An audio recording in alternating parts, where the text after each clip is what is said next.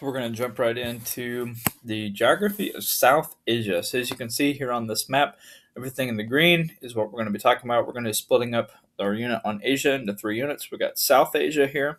Then we're actually going to touch on uh, Southeast Asia, uh, which is kind of this area down here. And then we're going to talk about East Asia. So we're going to break it up into three units. So make sure that you're also studying your map uh, on Asia. The links are in Cetera. So right into the physical geography.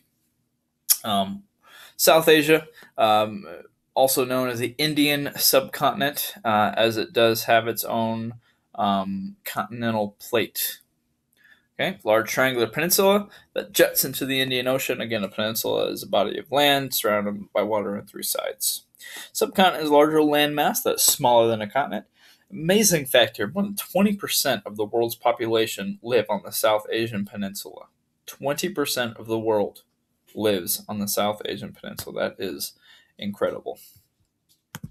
Challenges in recent decades. High population growth. So, again, this unit is going to talk uh, largely uh, about India, Myanmar, some of these neighboring countries uh, of India. So India is, is one of the most populated nations uh, in the world. Is this region is one of the most populated regions in the entire world. So with that, population growth has been a concern. Overpopulation, increased stress with the environment, floods, monsoons, uh, economic changes in recent years. Modernizing gap means they're having a hard time keeping up uh, with the rest of the world. Conflict between India and Pakistan tectonic origin. Uh, India was actually so back when uh, you know Pangea uh, was around uh, millions and millions of years ago. Uh, before continental drift happened, India was actually part of the supercontinent of Gondwanaland.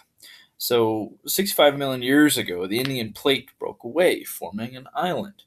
40 million years ago, India and the Eurasian plates collided, forming mountains uh, as we'll see, like the Himalayas are, are part of that mountain range. Three major landform regions. The Himalayan mountain rim uh, is one of the largest mountain ranges in the world. We've got the Indo Gangetic Plain. So, again, a plain is a flat, um, grassy, fertile soil area. And then you've got the Deccan Plateau. Uh, again, a plateau is kind of like a, a flat, uh, kind of arid region uh, that's high, high above, high in elevation. The Himalayan mountain rim uh, is at the northern uh, kind of uh, border. It's kind of the border. If you remember last year when you talked about ancient India, uh, kind of the Himalayas are kind of the northern border of the ancient Indian uh, civilization. Uh, crosses Nepal, Bhutan, and northern portions of India and Pakistan. The Himalayas are the longest and highest mountain range. Mount Everest, which is the, the, one of the most famous mountain peaks in the world. All the you know uh, really uh, enthusiastic mountain climbers want to go to Everest and climb it. Is almost thirty thousand feet.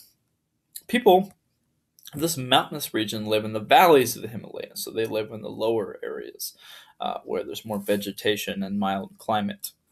Uh, to the west are the Kar- I always have trouble pronouncing this word Karakoram Range, the world's second highest mountain range. Himalayas are the source of the major rivers of South Asia. So again, uh, this kind of goes uh, with runoff as, as it rains. Uh, you've got the runoff from the mountain that feeds into these tributaries, which form rivers. So they carry the sediments from the high points to the base of the mountain rim to form the Indo Gangetic Plain. So that's why it's a fertile plain because they, the rivers carry that sediment down. And when it floods, uh, that silt uh, goes into that plain region, creating fertile soil for agriculture. Uh, again, uh, kind of touching more on this plain area, uh, obviously um, it's more densely populated here, um, despite the fact that, that there can be some severe uh, flooding.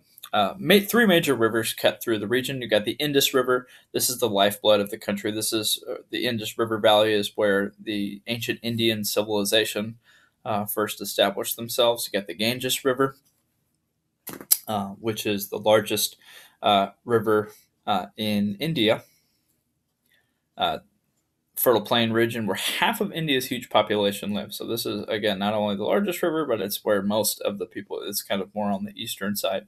It's called the Mother River and is sacred to Hindus. People uh, go there every year to bathe, and they believe that it can cure uh, their illnesses. And then you've got the Brahmaputra River.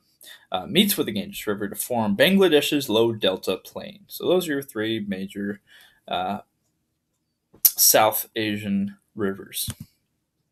The Deccan Plateau uh, covers much of the southern two thirds, right here. So here's your plateau. It's a high area um, of the Indian subcontinent. The Western Ghats are steep, rugged hills that face the Arabian Sea over here. Okay, so the Western Ghats. So that's going to be an important term there. And then you got the Eastern Ghats over here, which are hills. So again, these aren't mountains, they're kind of a series of like rolling hills. Hills that face the Bay of Bengal over here. Uh, contains fertile soils in the younger portions, and plateau also holds most of India's mineral resources. This is where mining takes place. Uh, different uh, climates. We're almost done with this uh, this topic here. Um, different climates. Uh, we've got um, monsoon is actually one of uh, the biggest ones. A monsoon is like just a huge torrential rain, uh, but these are kind of uh, again just like um, you know other parts of, of the world, like in Africa, very diverse climate zones. You've got humid tropical, kind of rainforesty, monsoon type climate. You've got savanna, where you got like grassland, humid subtropical, a little bit below a tropical. We got a wet and dry season. Highland climate, which is in the Ghats, the hills. Desert, very dry, and then you got your steppe as well. Okay, the monsoon seasonal wind system influences the region climate. So this largely has to do with wind currents, uh, bringing warm air. So we've actually got two monsoons. You've got the winter monsoon and you've got the summer monsoon.